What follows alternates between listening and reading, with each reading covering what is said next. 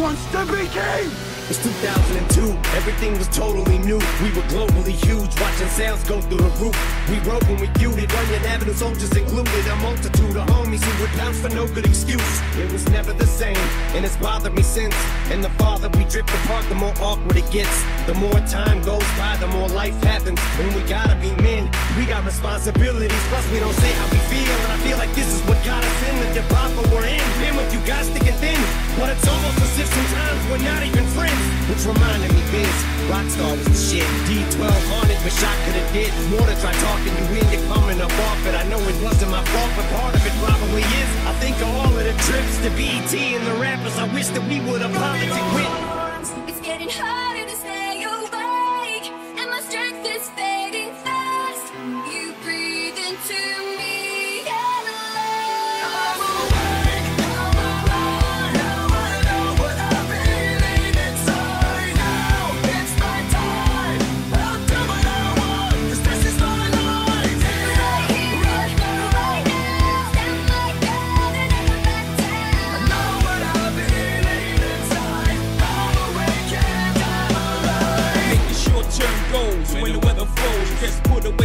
Leathers and put ice on the gold. Chilly with enough bail money to free a big Willie. High stakes, I got more at than Philly. Shopping sprees, copping threes. Dudes beat by IS's fully loaded.